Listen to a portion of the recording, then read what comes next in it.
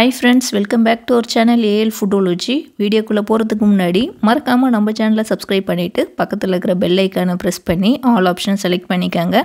அப்போ தான் நான் போடுற எல்லா வீடியோஸோட நோட்டிஃபிகேஷனும் உங்களுக்கு கிடைக்கும். இன்ஸ்டாகிராம்லேயும் அப்படியே நம்ம பேஜை ஃபாலோ பண்ணிக்கோங்க. இன்றைக்கி தமிழ் நியூ இயருக்கு செஞ்ச ஒரு ஸ்பெஷல் வெஜ் லன்ச் மெனு தான் இன்றைக்கி நம்ம பார்க்க போகிறோம் வாங்க எப்படி செய்யறதுன்னு பார்க்கலாம்.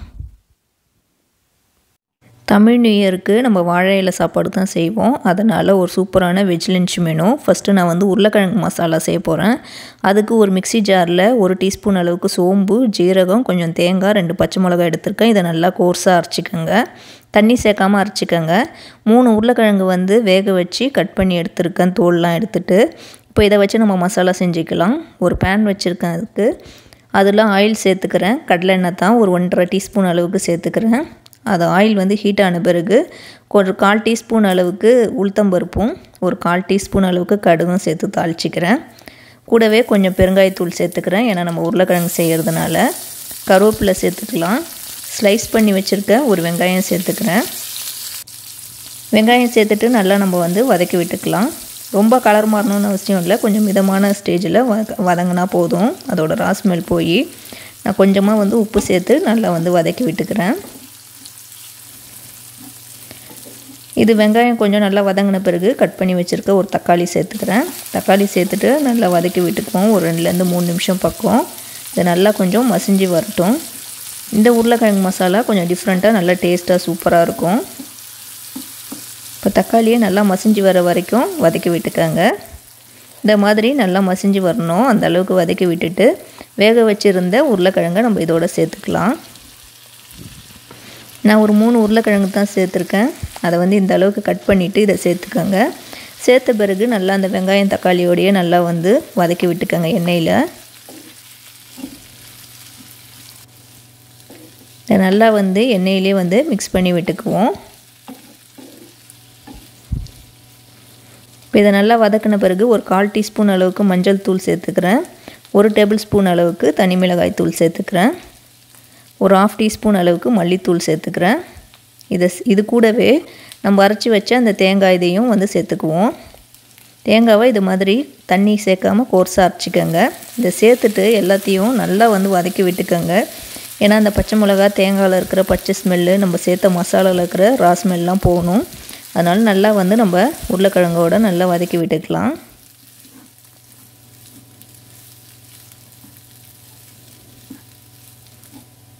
இப்போ அந்த மிக்சி ஜார்லேயே நான் கொஞ்சமாக தண்ணி சேர்த்து இதோட சேர்த்துக்கிறேன். ஏன்னா அந்த மசாலாவில் இருக்கிற ராஸ்மெல் போகிற வரைக்கும் போகிற அளவுக்கு கொஞ்சமாக சேர்த்துக்கோங்க. தேவையான அளவு உப்பு சேர்த்துக்கிட்டு நல்லா மிக்ஸ் பண்ணி விட்டுக்கோங்க. தண்ணி அதிகமாக சேர்க்காதீங்க. ஏன்னா நம்ம உருளைக்கிழங்கு வந்து ஏற்கனவே வேக வச்சது தான் அதனால் கொஞ்சோண்டுமாக சேர்த்துட்டு நல்லா வந்து மிக்ஸ் பண்ணி விட்டுக்கோங்க. மாதிரி நல்லா வந்து மிக்ஸ் பண்ணி விட்டுட்டு அப்படியே பேனில் வச்சு நம்ம ஒரு அஞ்சுலேருந்து ஆறு நிமிஷம் வந்து நல்லா வந்து அதை வேக விடுவோம். இடையில இடையில நல்லா வந்து மிக்ஸ் பண்ணி விட்டுக்கோங்க. அப்போ தான் அந்த மசாலாவில் இருக்கிற ராஸ்மெல் போய் உருளைக்கிழங்கோடு நல்லா கோட்டாகும் இது மாதிரி நான் இடையில இடையில மிக்ஸ் பண்ணி விட்டுருக்கேன். இப்போ பாருங்கள் நல்லா கலர் மாதிரி சூப்பராகிடுச்சு பாருங்கள் இது லாஸ்ட்டாக நான் வந்து கட் பண்ணி வச்சுருக்க கொத்தமல்லி இலையை சேர்த்துட்டு நல்லா மிக்ஸ் பண்ணி விட்டுக்கிறேன். அந்த ஈரத்தன்மைலாம் போயிடுச்சு பாருங்கள் நல்லா வந்து மசாலா வந்து உருளைக்கிழங்கோடு நல்லா கோட் ஆயிடுச்சு நல்லா இது மாதிரி வந்து மிக்ஸ் பண்ணி விட்டுக்கோங்க. இப்போ நம்மளோட உருளைக்கிழங்கு மசாலா வந்து சூப்பராக ரெடி ஆகிடுச்சு பாருங்கள் இதை நீங்கள் உங்கள் காரத்துக்கு ஏற்ற மாதிரி ம மிளகாய் தூள் சேர்த்துக்கோங்க. இப்போ அடுத்து நம்ம வெள்ளரிக்காய் பச்சடி செஞ்சுக்கலாம்.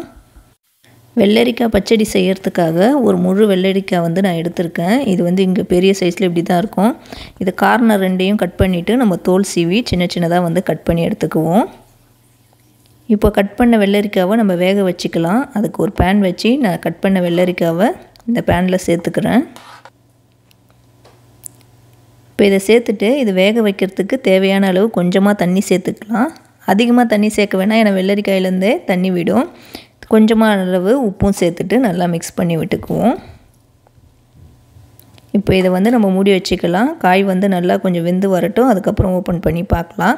இதுக்கிடையில் இன்றைக்கி தமிழ் வருஷ பருப்புக்கு நான் சாம்பார் தான் வச்சுருக்கேன். முருங்கைக்காய் கத்திரிக்காய் அதுக்கப்புறம் கேரட் சேர்த்து தான் சாம்பார் வச்சுருக்கேன். இந்த மிக்ஸ்டு வெஜிடபிள் சாம்பார் ரெசிபி ஏற்கனவே நம்ம சேனலில் இருக்குது. நான் டிஸ்கிரிப்ஷன் பாக்ஸில் லிங்க் கொடுக்குறேன். செக் பண்ணி பாருங்கள் இப்போ வந்து வெள்ளரிக்காய் வந்து நல்லா வேக வச்சாச்சு. நான் வந்து அதை ஸ்டவ் ஆஃப் பண்ணிவிட்டு தனியாக எடுத்துட்டேன். எடுத்துட்டு தயிர் வந்து இது கூட சேர்த்துருக்கேன். தயிர் சேர்த்து நல்லா மிக்ஸ் பண்ணி விட்டுக்கோங்க.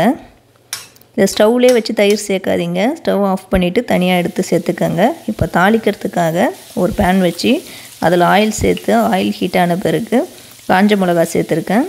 கூடவே வந்து ஒரு டீஸ்பூன் அளவுக்கு ஜீரகம் ஒரு கால் டீஸ்பூன் அளவு கடுகு சேர்த்துருக்கேன்.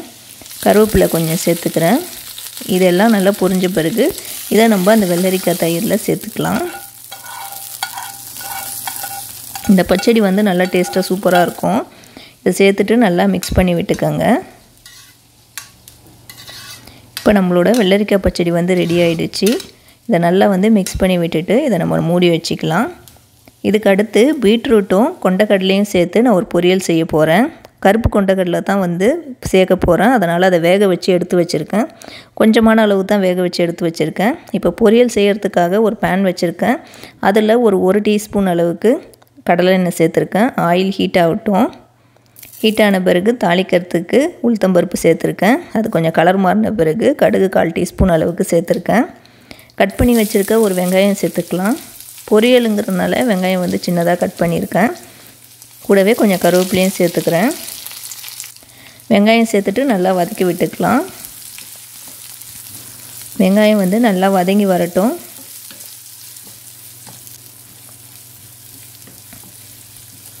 சீக்கிரமாக வதங்கிறதுக்காக ஒரு பிஞ்ச் உப்பு சேர்த்துக்கோங்க. உப்பு சேர்த்துட்டு வெங்காயம் நல்லா சீக்கிரமாக வதங்கிடும். இப்போ இது வதங்கிட்டு இருக்கப்பவே இது கூட நான் வந்து பீட்ரூட் வந்து கட் பண்ணி வச்சுருக்கேன். ஒரு பீட்ரூட் தான் எடுத்திருக்கேன் இன்றைக்கி அதை வந்து இது மாதிரி சின்னதாக கட் பண்ணி அதையும் சேர்த்துருக்கேன். இப்போ இதை சேர்த்துட்டு நல்லா வதக்கி விட்டுக்கலாம். ஒரு ரெண்டுலேருந்து மூணு நிமிஷம் பக்கம். ஏன்னா பீட்ரூட்டில் ராஸ்மெல் அதிகமாக இருக்கும். அதனால் எண்ணெயிலே நல்லா வதக்கி விட்டுக்கோங்க.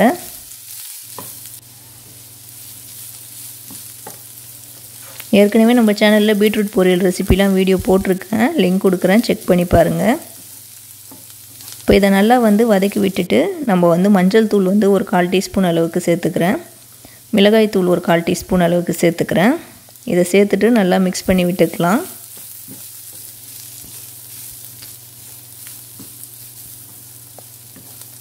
இதுக்கெல்லாம் காரம் அதிகமாக சேர்க்கணுன்னு அவசியம் இல்லை. நான் கொஞ்சமாக தான் சேர்த்துருக்குறேன். இப்போ இந்த காய் வேகிறதுக்கு தேவையான அளவு கொஞ்சமாக தண்ணி சேர்த்துக்கிறேன். கூடவே கொஞ்சமாக உப்பும் சேர்த்துக்கிறேன். உப்பு சேர்த்துட்டு எல்லாத்தையும் ஒன்றா நல்லா மிக்ஸ் பண்ணி விட்டுக்கலாம். இந்த பீட்ரூட்டும் கொண்டக்கடலையும் வந்து நல்லா ரொம்ப ஹெல்த்தியான ஒரு ரெசிபி இப்போ இது கூட வேக வச்ச கொண்டக்கடலையும் இதோட சேர்த்துக்கிறேன். சேர்த்துட்டு நல்லா எல்லாத்தையும் ஒன்றா நல்லா மிக்ஸ் பண்ணி விட்டுக்கலாம்.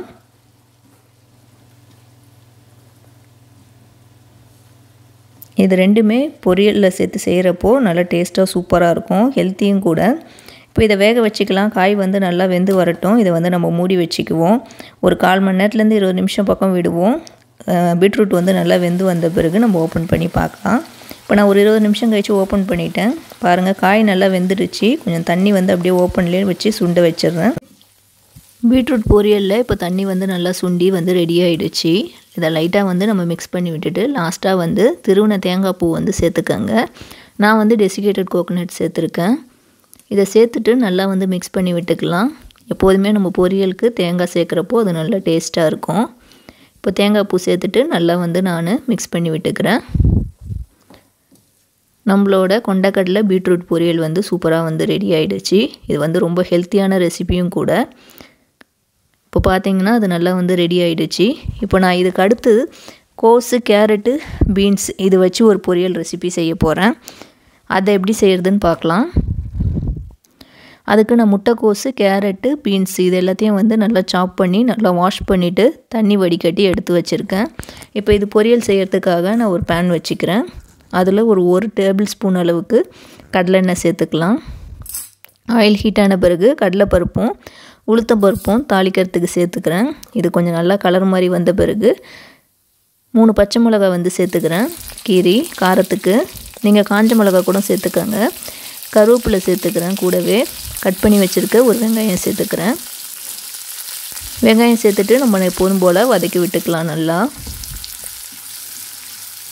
வெங்காயம் கொஞ்சம் நல்லா கலர் மாதிரி வரட்டும். அந்த அளவுக்கு நல்லா வதக்கி விட்டுக்குவோம். கொஞ்சம் அந்த கண்ணாடி பதத்துக்கு வர மாதிரி வதக்கி விட்டுக்கோங்க. வெங்காயம் கொஞ்சம் வதங்கின பிறகு நம்ம கட் பண்ணி வச்சுருக்க கோஸு கேரட்டு பீன்ஸ் இதை சேர்த்துக்கலாம். இதை சேர்த்துட்டு நல்லா வந்து மிக்ஸ் பண்ணி விட்டுக்குவோம். ஒரு ரெண்டு நிமிஷம் பக்கம் நல்லா வந்து இதில் வதக்கி விட்டிங்கன்னா அந்த கோஸில் இருக்கிற ராஸ்மெல்லாம் போகும். அதனால் நல்லா வந்து மிக்ஸ் பண்ணி விட்டுக்கோங்க. இதை வதக்கிட்ட பிறகு நான் மஞ்சள் தூள் வந்து ஒரு கால் டீஸ்பூன் அளவுக்கு சேர்த்துக்கிறேன். இதுக்கு காரத்துக்கு நான் பச்சை மிளகாய் சேர்த்ததுனால மிளகாய் தூள்லாம் சேர்க்கலை. மஞ்சள் தூள் சேர்த்துட்டு நல்லா வந்து மிக்ஸ் பண்ணி விட்டுக்கலாம்.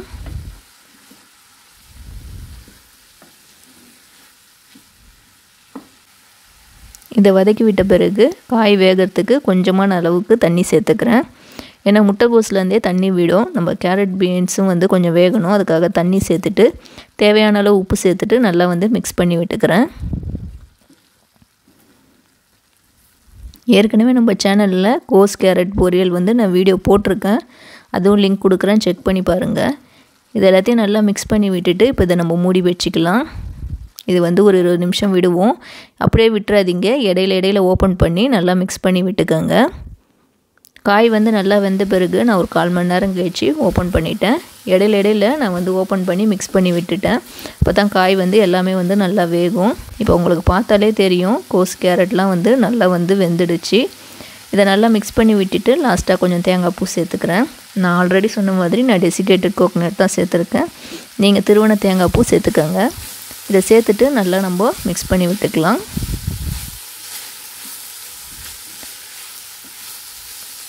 இதை நல்லா மிக்ஸ் பண்ணி விட்டுட்டு நம்ம வந்து ஸ்டவ் ஆஃப் பண்ணிக்கலாம். நம்மளோட கோஸு கேரட்டு பீன்ஸ் பொரியலும் வந்து சூப்பராக வந்து ரெடி ஆகிடுச்சு இன்றைக்கி இது லஞ்சுக்கு தேவையான எல்லா பொரியல் ரெசிப்பியும் நம்ம செஞ்சிட்டோம். இப்போ லாஸ்ட்டாக வந்து பாயாசத்துக்காக நான் வந்து பால் வந்து கொதிக்க வச்சுருக்கிறேன். நான் இன்றைக்கி வந்து ஜவ்வரிசி மட்டும் சேர்த்து ஜவ்வரிசி பாயாசம் செய்ய போகிறேன் அதுக்காக பால் பாயில் பண்ணுறதுக்காக ஒரு பேனில் பால் ஊற்றி வச்சுருக்கிறேன். அது வந்து கொதித்து வரட்டும். அதுக்கிடையில் நான் ஜவ்வரிசி வந்து எடுத்து வாஷ் பண்ணிவிட்டு ஊற வச்சுருக்கேன். இப்போ பால் வந்து நல்லா கொதிச்சிருச்சு. இது நல்லா கொதிச்சிட்ட பிறகு நான் வந்து ஜவ் ஊற வச்சுருந்த ஜவ்வரிசி இதோட சேர்த்துக்கிறேன். ஜவ்வரிசி சேர்த்துட்டு நல்லா வந்து எல்லாத்தையும் ஒன்றா நல்லா மிக்ஸ் பண்ணி விட்டுக்கலாம். அது வந்து கொஞ்சம் நல்லா வெந்து வரட்டும். இதை நல்லா கலக்கி விட்டுக்கோங்க. இல்லைன்னா அடியில் வந்து எல்லாம் போய் தங்கிடும். அது வந்து நல்லா வெந்த பிறகு நல்லா மேலே வரும் பாருங்கள் பாருங்கள் நல்லா வேக விட்டேன். நல்லா கொதித்து சூப்பராக ஜவ்வரிசிலாம் வெந்துடுச்சு பாருங்கள் இதை நல்லா மிக்ஸ் பண்ணி விட்டுட்டேன். இதுக்கிடையில் நான் சுகர் சேர்த்துக்கிறேன். நான் ஒயிட் சுகர் சேர்க்க மாட்டேன். அதனால் ப்ரௌன் சுகர் தான் வந்து சேர்த்துருக்குறேன். இது கூட ஏலக்காய் இடித்து வச்சுருக்கேன். அதுவும் வந்து சேர்த்துக்கிறேன். இதை சேர்த்துட்டு நல்லா மிக்ஸ் பண்ணி விட்டுக்கலாம். நான் கொஞ்சம் தண்ணியான கன்சிஸ்டன்சியில் தான் வச்சுருக்கேன். ஏன்னா அது ஹீட் வந்து சூடு ஆற ஆற நல்லா வந்து கொஞ்சம் திக்காகிடும் அதுவும் ஜவ்வரிசிங்கிறதுனால ரொம்பவே திக்காகிடும் அதனால் இந்த கன்சிஸ்டன்சியில் தான் வச்சுருக்கிறேன். இதை தாளிக்கிறதுக்காக பேனில் நெய் விட்டுருக்கேன் ஒரு டேபிள் ஸ்பூன் அளவுக்கு. இதில் நான் முந்திரி பருப்பு சேர்த்துக்கிறேன். நான் திராட்சை சேர்க்க மாட்டேன். உங்களுக்கு வேணும்னா நீங்கள் திராட்சை சேர்த்துக்கோங்க. அதுவும் நல்லா டேஸ்ட்டாக இருக்கும். முந்திரி பருப்பு சேர்த்து இதை நல்லா ஃப்ரை பண்ணிக்கலாம். இதை ஃப்ரை பண்ணிவிட்டு நம்ம வந்து இந்த பாயாசத்தில் சேர்த்துக்கலாம். உங்களுக்கு திராட்சை பாயசத்தில் போட பிடிக்கும்னா நீங்கள் சேர்த்துக்கோங்க. நான் வந்து திராட்சை சேர்க்க மாட்டேன் முந்திரி பருப்பு மட்டும் சேர்த்துருக்கேன். நம்மளோட ஜவ்வரிசி பாயாசமும் வந்து சூப்பராக வந்து ரெடி ஆகிடுச்சு இது நல்லா இன்னும் திக்காகிடும் இப்போ தண்ணியாக இருக்க மாதிரி இருக்குது ஹீ சூடாக இருக்கிறதுனால. இது நல்லா ஆற ஆற கொஞ்சம் நல்லா திக்காகிடும் இந்த ஜவ்வரிசி பாயாசம் சூப்பராக இருக்கும். இதுக்கிடையில் நான் வந்து வடையும் வந்து ஒரு பேனில் செஞ்சுருந்தேன். மெதுவடை தான் செஞ்சுருந்தேன். மெதுவடை ஏற்கனவே நம்ம சேனலில் ரெசிபி போட்டிருக்கிறதுனால நான் வீடியோ எடுக்கலை. இப்போ மெ மெதுவடை ரெடியான பிறகு நான் அப்பளமும் வந்து அதிலே வறுத்துட்டேன். இப்போ நம்ம செஞ்ச எல்லாத்தையுமே சர்வ் பண்ணியிருக்கேன். பாருங்கள் ஜவ்வரிசி பாயாசம் பீட்ரூட் கொண்டக்கடலை பொரியல் வெள்ளரிக்காய் பச்சடி அதுக்கப்புறம் உருளைக்கிழங்கு மசாலா அதுக்கப்புறம் சாதம் அது கூட கத்திரிக்காய் முருங்கைக்காய் கேரட் போட்ட சாம்பார் அதுக்கப்புறம் கேரட்டு பீன்ஸு கோஸ் பொரியல் லாஸ்ட்டாக வந்து மெதுவடை அப்பளம். இது தான் தமிழ் நியூ இயரோட ஒரு ஸ்பெஷல் லன்ச் மெனு சூப்பரான ஒரு வெஜ் லன்ச் மெனு கண்டிப்பாக வந்து நீங்களும் செஞ்சு பாருங்கள் நான் செஞ்ச ரெசிபி எல்லாமே செஞ்சு பார்த்துட்டு எப்படி இருந்துச்சுன்னு மறக்காமல் கீழே கமெண்ட் பண்ணுங்கள் இந்த வீடியோ உங்களுக்கு பிடிச்சிருக்கும்னு நினைக்கிறேன். பிடிச்சிருந்தா லைக் பண்ணிக்கோங்க. இந்த வீடியோவை உங்கள் ஃப்ரெண்ட்ஸ் அண்ட் ஃபேமிலிஸ்க்கும் ஷேர் பண்ணி விடுங்க. நம்ம ஏல் ஃபுட்டோலஜி சேனலை இது வரைக்கும் சப்ஸ்கிரைப் பண்ணாதவங்க மறக்காமல் சப்ஸ்கிரைப் பண்ணிக்கோங்க. தேங்க்யூ ஃபார் வாட்சிங்